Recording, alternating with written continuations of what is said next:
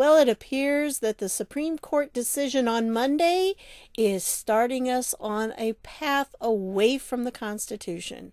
Stick with me, folks, and I'll get to it all in just a minute.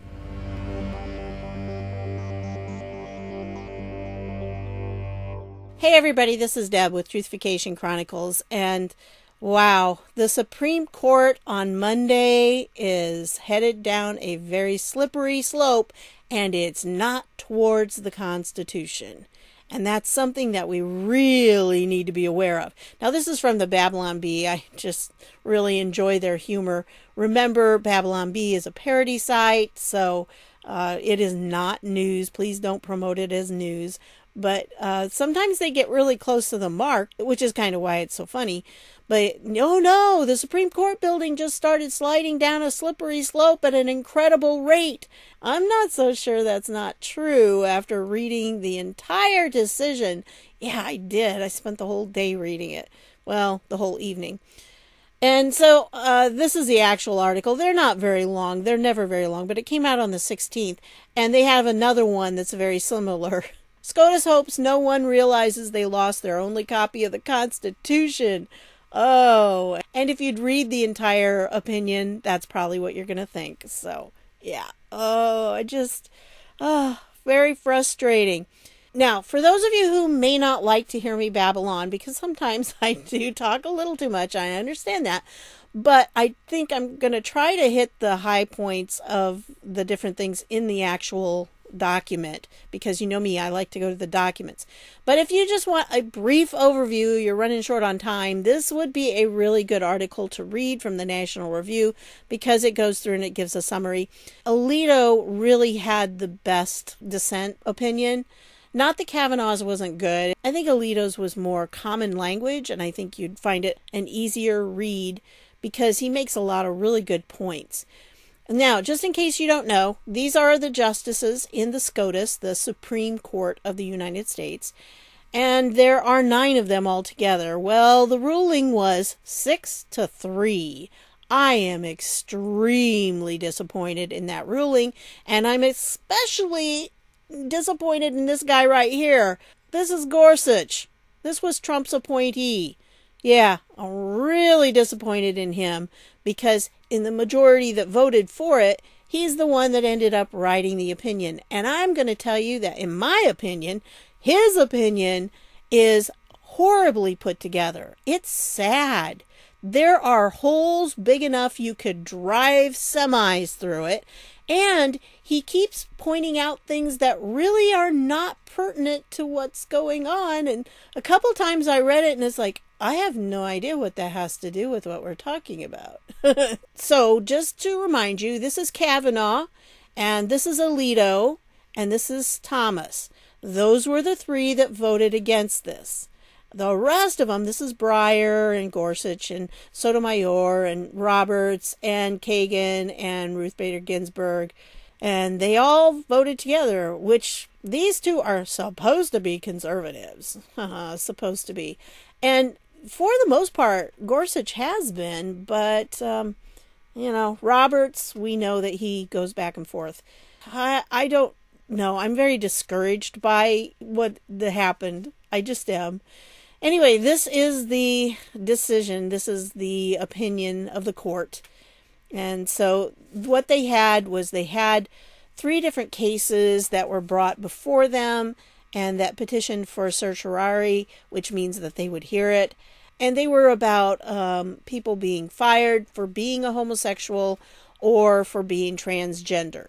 And so that is what this is here. It goes through, and at the very beginning, they always have all these different um, setting it all up. And so when it talks about the employer, it's talking about the people that fired these uh, three people. So it, it just they put them together because they felt like they all had the same basic thing at the heart of it, which was how do you define sex? which is, you know, it's kind of like that Clinton thing. You know, well, it depends on the definition of what is is. Well, this is what sex is, evidently. And it's not what you think, it's different. So let me go down here Uh, you got to go through all this. Okay, here is Gorsuch delivered the opinion of the court in which Roberts, Ginsburg, Breyer, Sotomayor, and Kagan joined, and then Alito filed a dissenting opinion in which Thomas joined. So uh, Thomas just kind of went along with Alito, and then Kavanaugh filed a dissenting opinion as well. They sometimes do that, sometimes they don't. It all depends on kind of how uh, fiery it's gotten, I think. Okay, let's get going here because this is the whole thing. And as you can see, these are the different people involved. One of them was a funeral home employee who was a man when they hired him. And then suddenly they sent him a letter saying, you know, I've decided I'm going to be a woman. It's like, whoa, wait a minute. So, yeah, and Gorsuch delivered the opinion of the court. So, let's get going here. And he starts out and says, Sometimes small gestures can have unexpected consequences. Major initiatives practically guarantee them. In our time, few pieces of federal legislation rank in significance with the Civil Rights Act of 1964. There, in Title VII, and you're going to hear about Title VII a lot, Congress outlawed discrimination in the workplace on the basis of race, color, religion, sex, or national origin. Today, we must decide whether an employer can fire someone simply for being homosexual or transgender. The answer is clear. Oh, no, it's not. Ugh. An employer who fires an individual for being homosexual or transgender fires that person for traits or actions it would not have questioned in members of a different sex. See, they start putting in these little digs and twisting things around, even here. Sex plays a necessary and undistinguishable role in the decision. Exactly what Title VII forbids. Now, this is where they make the mistake. This is the flaw in their basic foundation because they say that if you're going to discriminate against someone for sexual preference or for gender identity, then sex has to play a role in it. Their sex, whether they're male or female. That's not necessarily true because if you have a policy, say a church school has a policy that they do not hire homosexuals, whether they are male or female, makes no difference. That behavior is not allowed in one of their employees.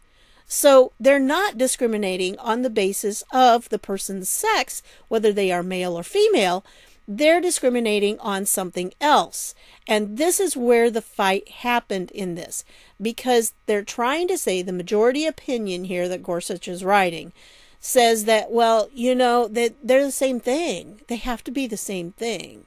The thing is, when he's setting it up here, this is where he starts out. And you're going to have to pardon me because there's going to be a lot of jumps in here. I, you know, I figure you don't want to see me scrolling down or, you know, whatever. This court normally interprets a statute in accordance with the ordinary public meaning of its terms at the time of its enactment. That's key. That's how the Supreme Court is supposed to do things. That's how they normally do it. But they did not do that here. Oh no. And he goes on and says, after all, only the words on the page constitute the law adopted by Congress and approved by the President. Yes, very true. If judges could add to, remodel, update, or detract from old statutory terms inspired only by extra textual sources and our own imaginations, we would risk amending statutes outside the legislative process reserved for the people's representatives. In other words, Congress, the legislative branch. And we would deny the people the right to continue relying on the original meaning of the law they have counted on to settle their rights and obligations. Okay, I agree with him totally on this. But this is not what happens in the rest of his entire argument. It's like, okay, well, I'm going to say this up front, and then I'm going to totally ignore it as I go on. And so he goes on, well, you know, with this in mind, our task is clear. He uses the word clear a lot. We must determine the ordinary public meaning of Title VII's command that it is unlawful for an employer to fail or refuse to hire or to discharge any individual or otherwise to discriminate against any individual with respect to his compensation, terms, conditions, or privileges of employment because of such individual's race, color, religion, sex, or national origin. Okay, so they have to figure it out. To do so, we orient ourselves to the time of the statute's adoption, here, 1964, and begin by examining the key statutory terms in turn before assessing their impact on the cases at hand, and then confirming our work against this court's precedents. Okay, well, again, this is what they're supposed to do. This is not what they did in this case. Because in 1964, homosexuality was still considered a mental illness. Okay?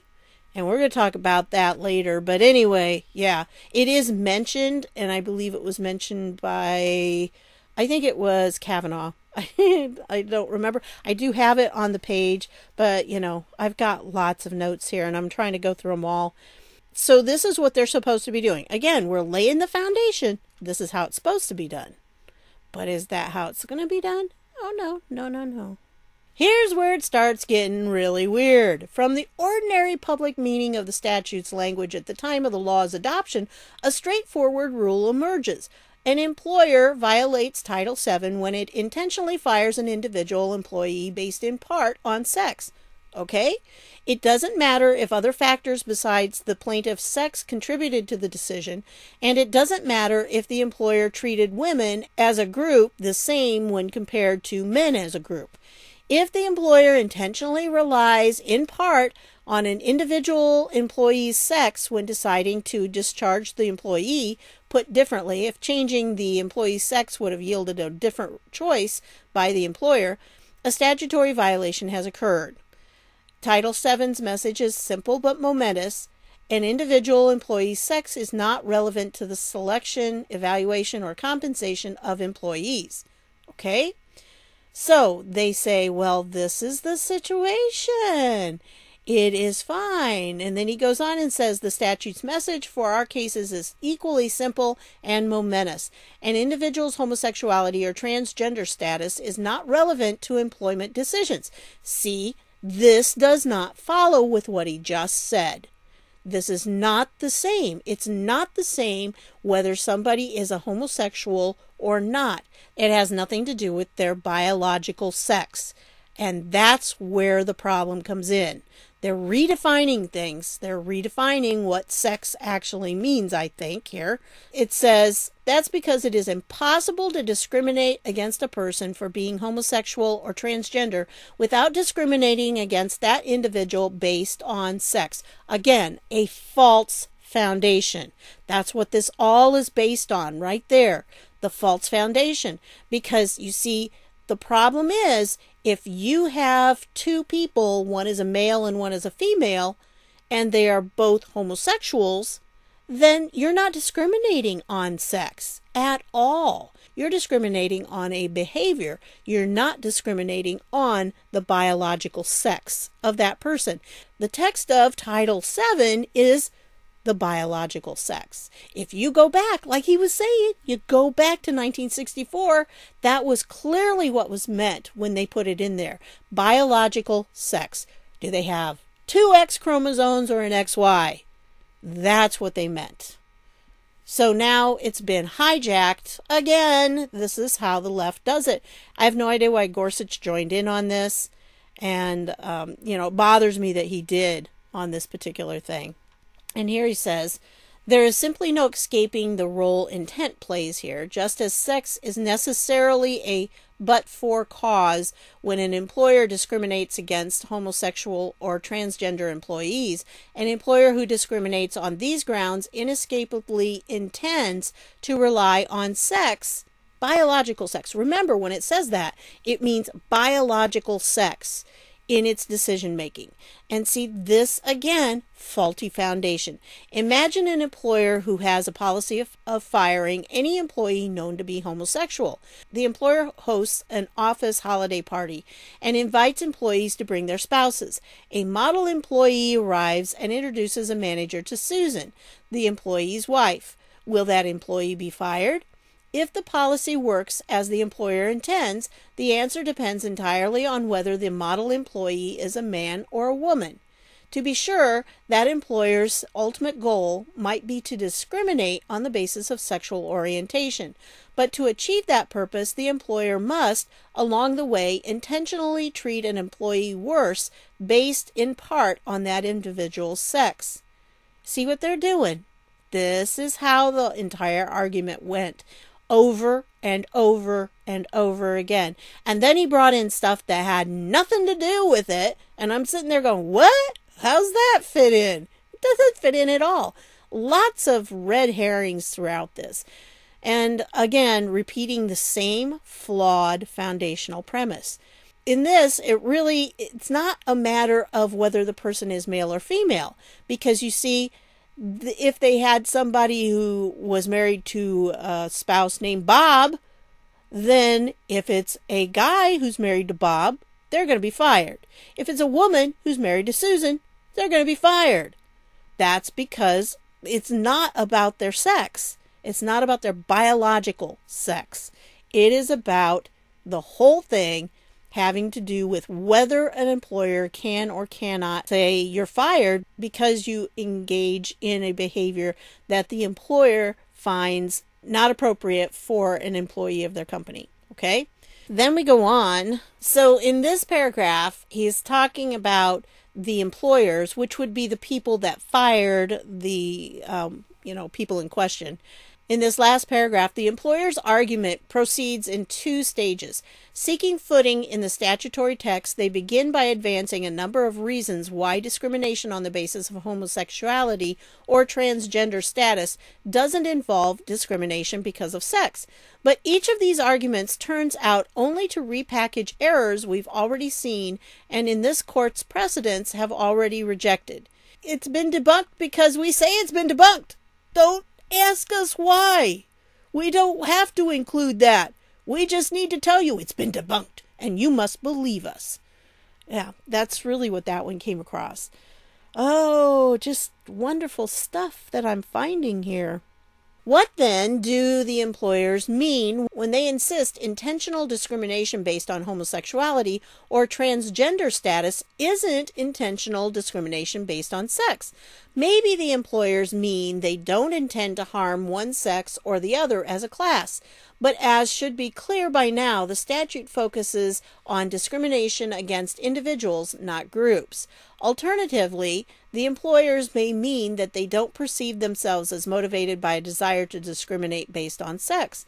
But nothing in Title VII turns on the employer's labels or any further intentions or motivations for its conduct beyond sex discrimination.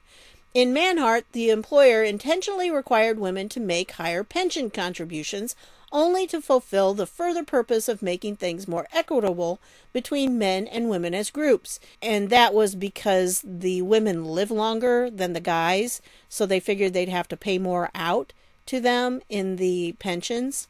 So that's why they wanted the women to have to pay a little bit more. So it balanced things out. In Phillips, the employer may have perceived itself as discriminating based on motherhood, not sex, given that its hiring policies as a whole favored women.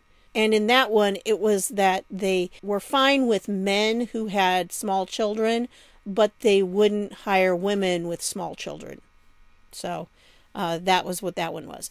But in both cases, the court set all this aside as irrelevant. The employer's policies involved intentional discrimination because of sex, and Title VII liability necessarily followed. Aren't these cases different? The employers ask, given that an employer could refuse to hire a gay or transgender individual without ever learning the applicant's sex. Suppose an employer asked homosexual or transgender applicants to tick a box on its application form. The employer then had someone else redact any information that could be used to discern sex. The resulting applications would disclose which individuals are homosexual or transgender without revealing whether they also happen to be men or women. Doesn't that possibility indicate that the employer's discrimination against homosexual or transgender persons cannot be sex discrimination? Yes, that is true. But he says, no, it doesn't. Know, I'm reading through this going, oh, how many times did I sit there and say, wait, that's not right? That's not right. If you don't know if they're male or female, you're not discriminating based on sex. You're discriminating based on whether they're homosexual or transgender. It's a different thing. It is not the same. And he goes through he he justifies it. I mean, he does handstands to try to get it justified.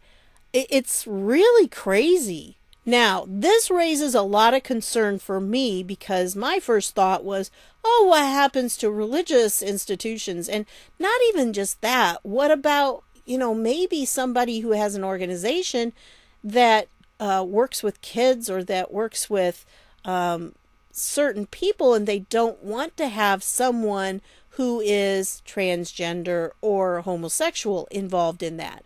I mean, it could be, and and you know, just for regular business rights, you really should be able to hire people that follow with your type of business ethics. So, you know, if you don't believe that homosexuality is right, then you shouldn't have to hire somebody who is to work in your company. And really, with all this that's coming through, this is my big fear here is that this is what's going to happen, and then, uh, you know, they're there's not going to be any protection for any religious organization that wants to um, not hire homosexuals. It says here separately, the employers fear that complying with Title VII's requirements in cases like ours may require some employers to violate their religious convictions. We are also deeply concerned with the preserving the promise of the free exercise of religion enshrined in our Constitution. That guarantee lies at the heart of our pluralistic society. But worries about how Title VII may intersect with religious liberties are nothing new. They even predate the statute's passage. As a result of its deliberations in adopting the law, Congress included an express statutory exception for religious organizations. This court has also recognized that the First Amendment can bar the application of employment discrimination laws quote, to claims concerning the employment relationship between a religious institution and its ministers. Okay, but that's just a religious institution and its ministers. Has nothing to do with anyone else who has any religious convictions. You know, a lot of us have religious convictions and we are not ministers. We're not uh, somebody working for a church. But that doesn't change it that we still have religious convictions. And Congress has gone a step further yet in the Religious Freedom Restoration Act of 1993. That statute prohibits the federal government from substantially burdening a person's exercise of religion unless it demonstrates doing so both furthers a compelling governmental interest and represents the least restrictive means of furthering that interest. Because the RFRA operates as a kind of super statute displacing the normal operation of other federal laws, it might, get the word there, might supersede Title VII's commands in appropriate classes. We don't know. And the he admits right here that this is going to open a Pandora's box, but doesn't seem to bother him any. So then he goes on and says, but how these doctrines protecting religious liberty and interact with Title VII are questions for future cases too. So, yeah, I know we're opening up that Pandora's box, but hey, we don't care.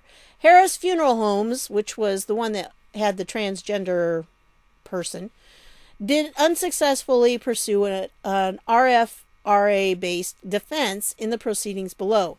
In its certiorari petition, however, the company declined to seek review of that adverse decision, and no other religious liberty claim now is now before us. So while other employers in other cases may raise free exercise arguments that merit careful consideration, none of the employers before us today represent in this court that compliance with Title VII will infringe their own religious liberties in any way. Huh yeah. So we don't care. We don't care that that's going to happen down the road. Well, anyway, then he goes on. He says some of those who support adding additional language to Title VII to ban sex discrimination may have hoped, and this is talking about originally, may have hoped it would derail the entire Civil Rights Act. Yet, contrary to those intentions, the bill became law. Since then, Title VII's effects have unfolded with far reaching consequences some likely beyond what many in Congress or elsewhere expected. But none of this helps decide today's cases. Ours is a society of written laws. Judges are not free to overlook plain statutory commands on the strength of nothing more than suppositions about intentions or guesswork about expectations. In Title VII, Congress adopted broad language making it illegal for an employer to rely on an employee's sex when deciding to fire that employee. We do not hesitate to recognize today a necessary consequence of that legislative choice. An employer who fires an individual merely for being gay or transgender defies the law. No, because you just said you can't do that. You've got to look at the plain statutory command. And then he turns around and he says this. It not it's not logical. It does not follow. You can't do that. Oh, this is uh, sorry, a little bit of a rant here, but this is how I read the whole thing. I was my cats got a little scared. they were wondering who I was yelling at, but oh, it just infuriated me to see this. Okay, and then at this point we get to yes, this is Alito's opinion, his dissenting opinion here. And again, Justice Thomas is joining him in this. And here's what he says There is only one word for what the court has done today legislation. The document that the court releases is in the form of a judicial opinion interpreting a statute, but that is deceptive. I mean, he pulls no punches in this. Title VII of the Civil Rights Act of 1964 prohibits employment discrimination on any of five specified grounds race, color, religion, sex, and national origin.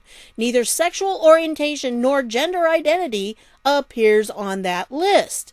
For the past 45 years, bills have been introduced in Congress to add sexual orientation to the list, and in recent years, bills have included gender identity as well. But to date, none has passed both houses. Last year, which means they're not law, okay? They're not law. Last year, the House of Representatives passed a bill that would amend Title VII by defining sex discrimination to include both sexual orientation and gender identity. But the bill has stalled in the Senate. An alternative bill, and that's H.R. 5331, would add similar prohibitions but contains provisions to protect religious liberty. This bill remains before a House subcommittee. Because no such amendment of Title VII has been enacted in accordance with the requirements in the Constitution, passage in both houses and presentment to the President, Title VII's prohibition of discrimination because of sex still means what it has always meant. But the court is not deterred by these constitutional niceties. Usurping the constitutional authority of other branches, the court has essentially taken H.R. 5's provision on employment discrimination and issued it under the guise of statutory interpretation. A more brazen abuse of our authority to interpret statutes is hard to recall. The court tries to convince readers that it is merely enforcing the terms of the statute, but that's preposterous.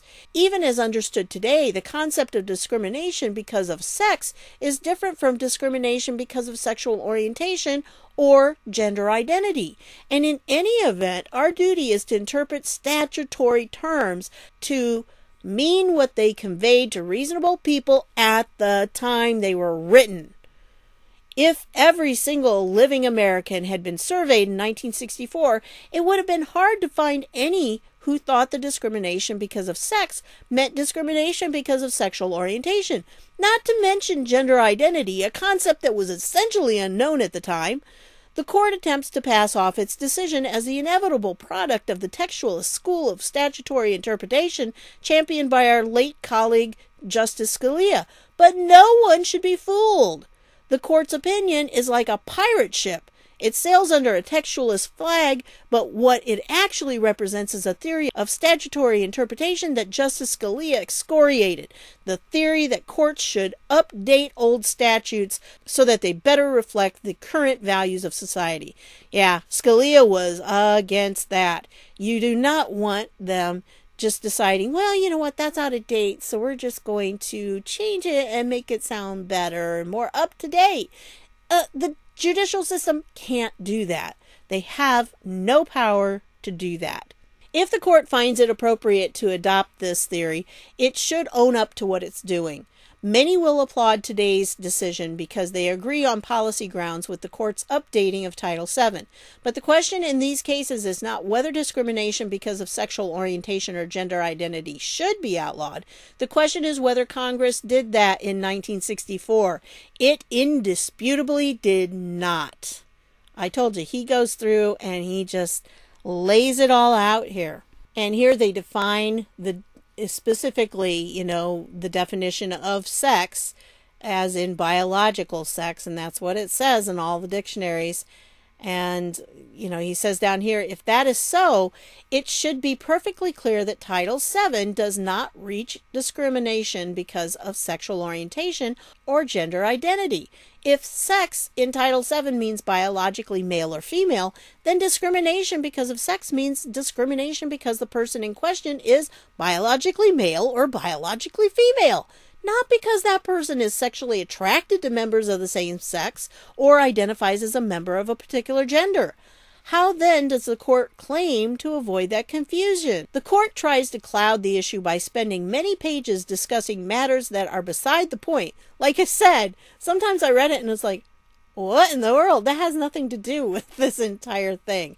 The court observes that a Title VII plaintiff need not show that sex was the sole or primary motive for a challenged employment decision or its sole or primary cause. That Title VII is limited to discrimination with respect to a list of specified actions, such as hiring, firing, etc., and that Title VII protects individual rights, not group rights. All that is true, but so what? In cases like those before us, a plaintiff must show that sex was a motivating factor in the challenged employment action. So the question we must decide comes down to this. If an individual employee or applicant for employment shows that his or her sexual orientation or gender identity was a motivating factor in a hiring or discharge decision, for example, is that enough to establish that the employer discriminated because of sex? Or to put the same question in different terms, if an employer takes an employment action solely because of the sexual orientation or gender identity of an employee or it, or applicant, has that employer necessarily discriminated because of biological sex? The answers to those questions must be no unless discrimination because of sexual orientation or, or, gender identity inherently constitutes discrimination because of sex. The court attempts to prove that point, and that's in Gorsuch's. I told you, that's kind of the basis of everything he says. And it argues not merely that the terms of Title VII can be interpreted that way, but that they cannot reasonably be interpreted any other way. According to the court, the text is unambiguous. The arrogance of this argument is breathtaking. As I will show, there is not a shred of evidence that any member of Congress interpreted the statutory text that way when Title VII was enacted. But the court apparently thinks that this was because the members were not smart enough to realize what its language means. The court seemingly has the same opinion about our colleagues on the Court of Appeals because until 2017, Every single court of appeals to consider the question interpreted Title VII's prohibition against sex discrimination to mean discrimination on the basis of biological sex. And for good measure, the court's conclusion that Title VII unambiguously reaches discrimination on the basis of sexual orientation and gender identity necessarily means that the EEOC failed to see the obvious for the first 48 years after Title VII became law. Day in and day out, the Commission enforced Title VII, but did not grasp what discrimination because of sex unambiguously means. The court's argument is not only arrogant, it is wrong. It fails on its own terms. Sex, sexual orientation, and gender identity are different concepts, as the court concedes. And when it says ante here, it means before, and that would be the page number. So it's talking about Gorsuch's um, opinion up before this. And neither sexual orientation nor gender identity is tied to either of the two biological sexes. And that's where Gorsuch said recognizing that discrimination on these bases does not have some disparate impact on one sex or another. Both men and women may be attracted to members of the opposite sex, members of the same sex, or members of both sexes. And individuals who are born with the genes and organs of either biological sex may identify with a different gender. Using slightly different terms, the court asserts again and again that discrimination because of sexual orientation or gender identity inherently or necessarily entails discrimination because of sex, which I've said that's what they kept saying over and over again. That's how you get people to, you know, believe things because you just keep repeating it over and over. But anyway, and that's what he says down here. But repetition of an assertion does not make it so. And the court's repeated assertion is demonstrably untrue. And those were all the different times that they said it. I mean, he said it several times. Contrary to the court's contention, discrimination because of sexual orientation or gender identity does not, in and of itself, entail discrimination because of sex. We can see this because it is quite possible for an employer to discriminate on those grounds without taking the sex of an individual applicant or employee into account. An employer can have a policy that says we do not hire gays, lesbians, or transgender individuals and an employer can implement this policy without paying any attention to or even knowing the biological sex of gay, lesbian, and transgender applicants. In fact, at the time of the enactment of Title VII, the United States military had a blanket policy of refusing to enlist gays or lesbians, and under this policy for years thereafter, applicants for enlistment were required to complete a form that asked whether they were homosexual. And then down here it says, it is curious to see this argument in an opinion that purports to apply the purest and highest form of textualism because the argument effectively amends the statutory text. Title VII prohibits discrimination because of sex itself, not everything that is related to, based on, or defined with reference to sex. Many things are related to sex. Think of all the nouns other than orientation that are commonly modified by the adjective sexual. Some examples yielded by a quick computer search are sexual harassment, sexual assault, sexual violence, sexual intercourse, and sexual content. Does the court really think that Title VII prohibits discrimination on all these grounds? Is it unlawful for an employer to refuse to hire an employee with a record of sexual harassment in prior jobs or a record of sexual assault or violence? To be fair, the court does not claim that Title VII prohibits discrimination because of everything that is related to sex. The court draws a distinction between things that are inextricably related and those that are related in some vague sense. Apparently, the court would draft onto Title VII some arbitrary line separating the things that are related closely enough and those that are not, and it would do this in the name of high contextualism. And then they talk about actually labeling, you know, that it puts a label on them.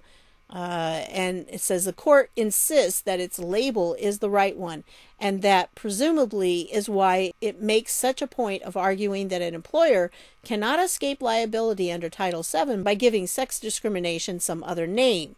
That is certainly true, but so is the opposite something that is not sex discrimination cannot be converted into sex discrimination by slapping on that label. So the court cannot prove its point simply by labeling the employer's objection as attraction to men. Rather, the court needs to show that its label is the correct one. And a labeling standoff would not help the court because that would mean that the bare text of Title VII does not unambiguously show that its interpretation is right. The court would have no justification for its stubborn refusal to look any further. As it turns out, however, there is no standoff.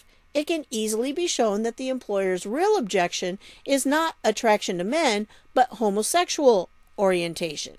In an effort to prove its point, the court carefully includes in its example just two employees, a homosexual man and a heterosexual woman.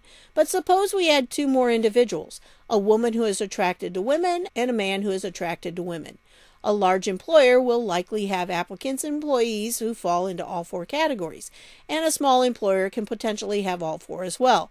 We now have the four exemplars listed below with the discharged employees crossed out. And here they are. So there are the four possibilities, and they said, okay, let's have the look at these four, and then you have two that are crossed out.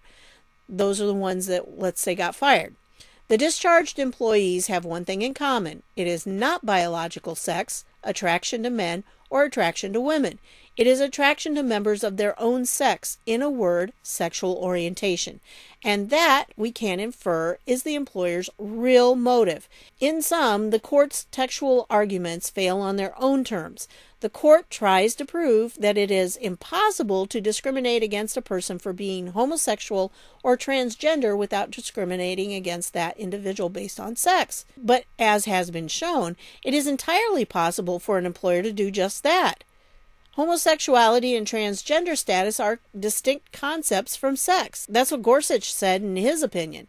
And discrimination because of sexual orientation or transgender status does not inherently or necessarily constitute discrimination because of sex. The court's arguments are squarely contrary to the statutory text. But even if the words of Title VII did not definitively refute the court's interpretation, that would not justify the court's refusal to consider alternative interpretations.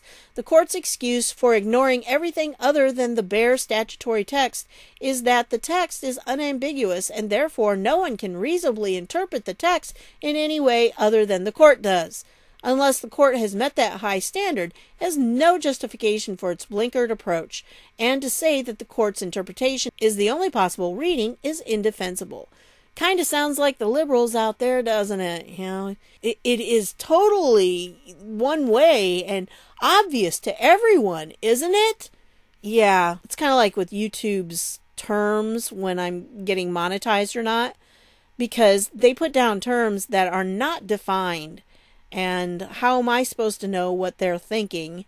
And they make it sound like this is not something you can even question. Like they have a whole list of things that are controversial subjects, so you can't you can't present those without being demonetized. This is one of them, by the way. So yeah, this one will be demonetized. But how is child abuse controversial?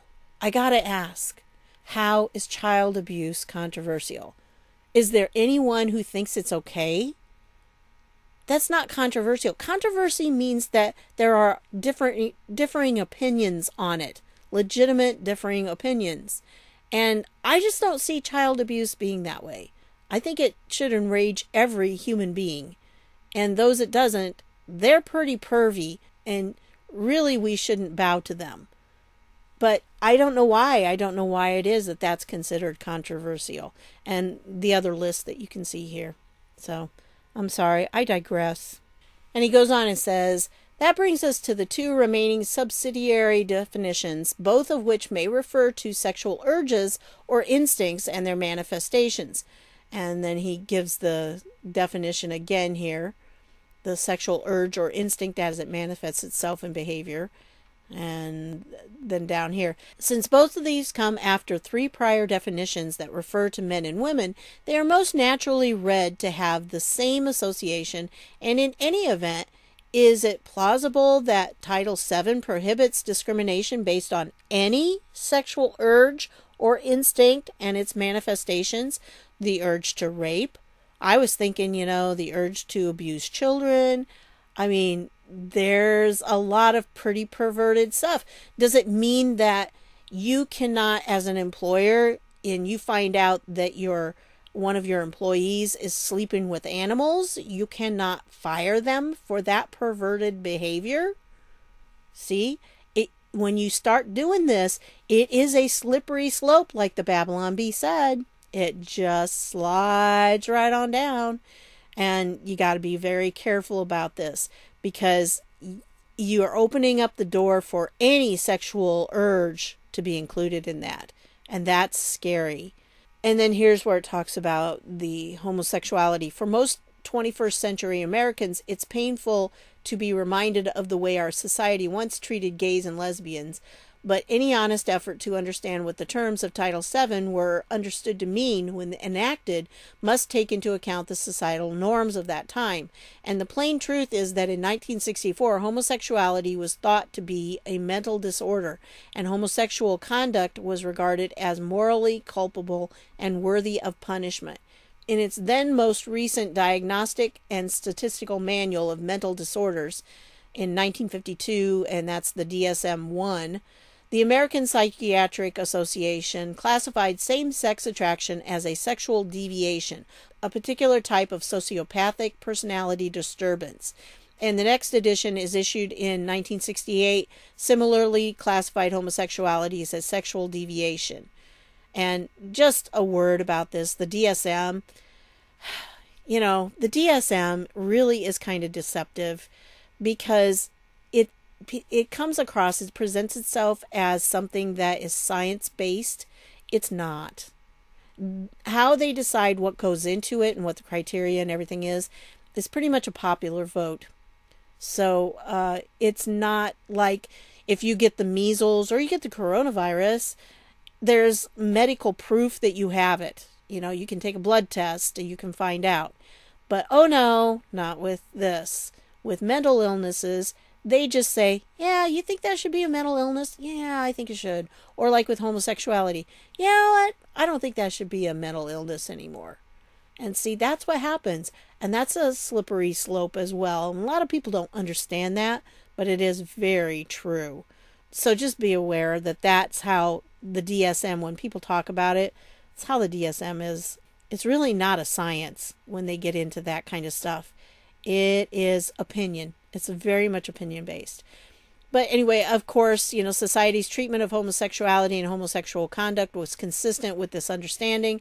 Sodomy was a crime in every state but Illinois. This is what it was like in that time period.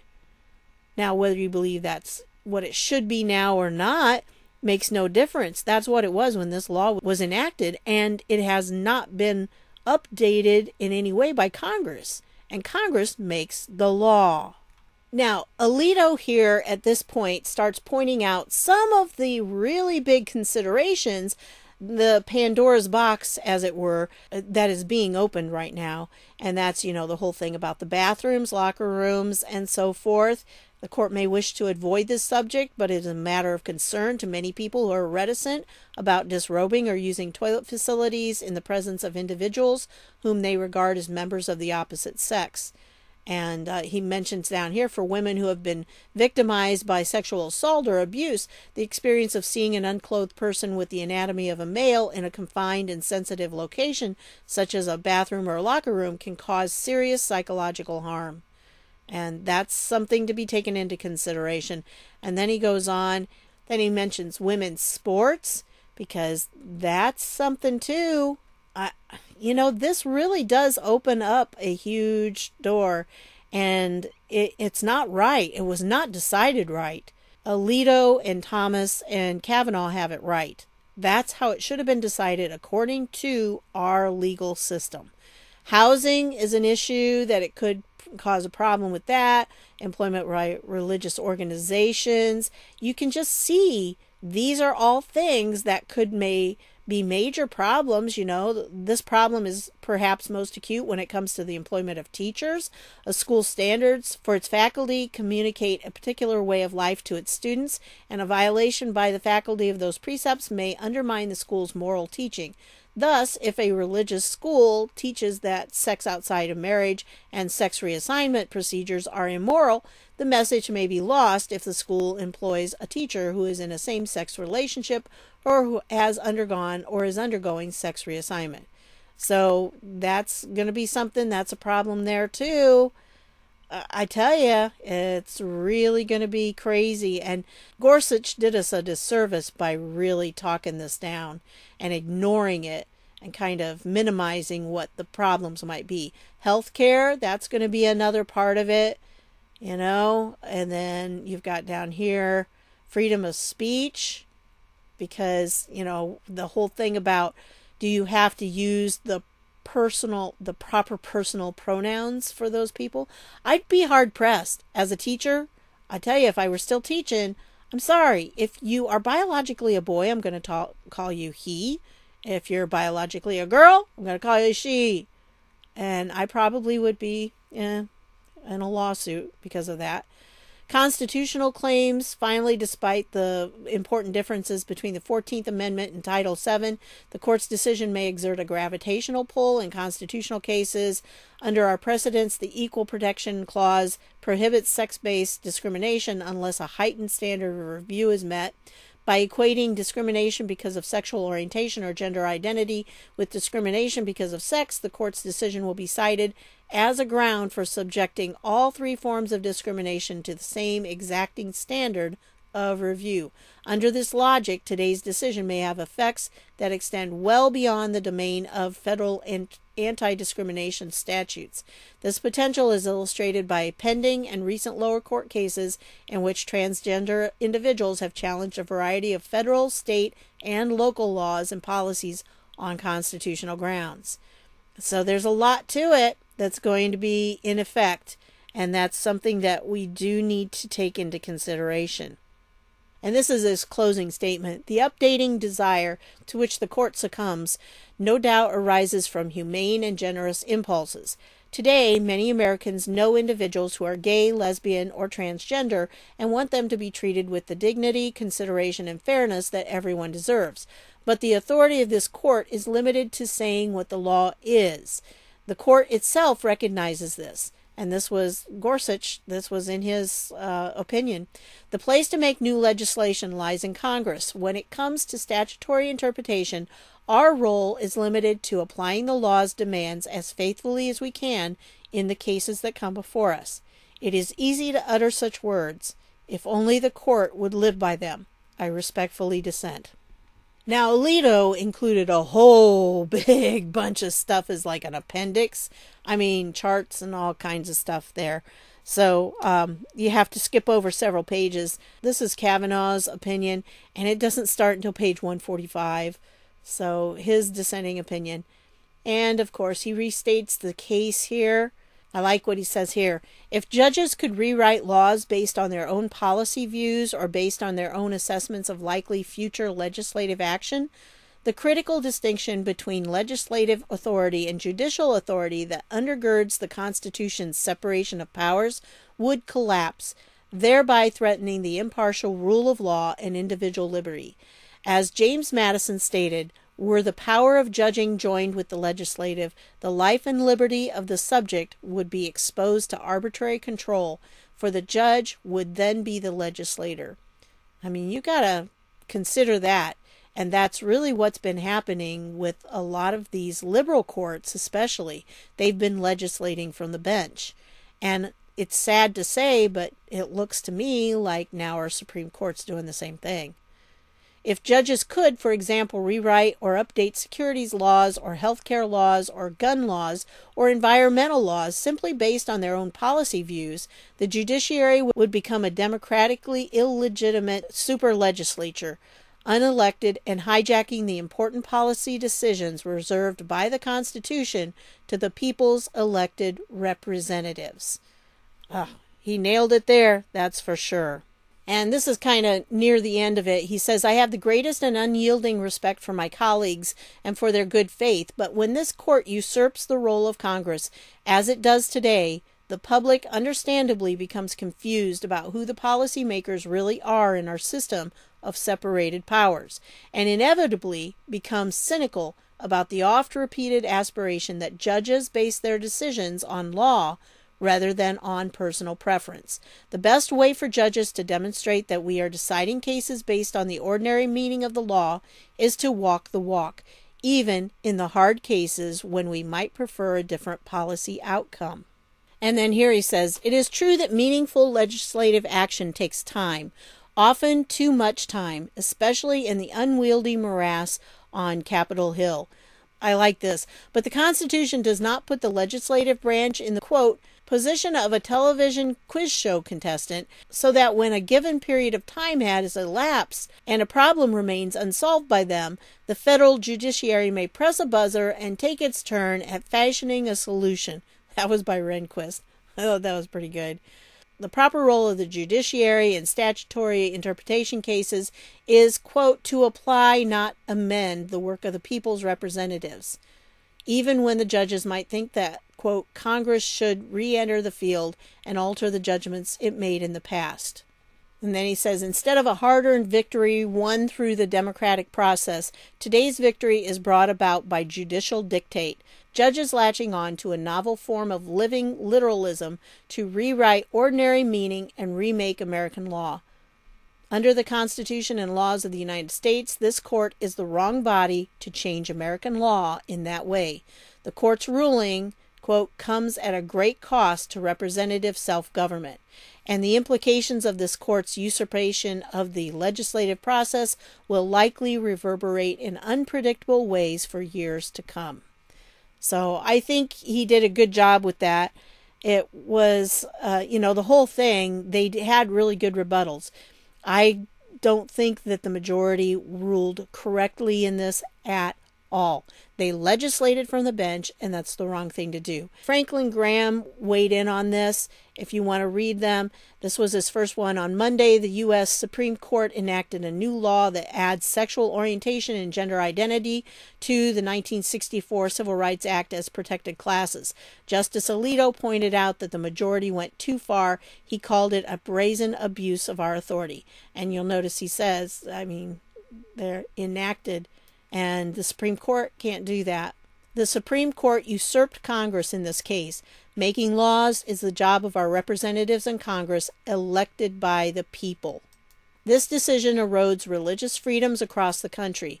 People of sincere faith who stand on God's word as their foundation for life should never be forced by the government to compromise their religious beliefs.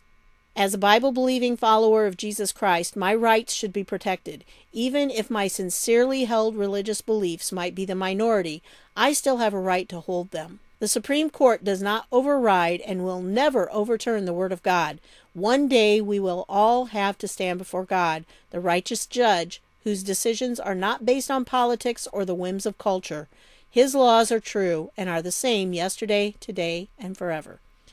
So that's what I've got for you. Sorry that this is turning out a little long, but you know, I just felt it was really important to go through that. I want to thank you for stopping by, and I'll see y'all later.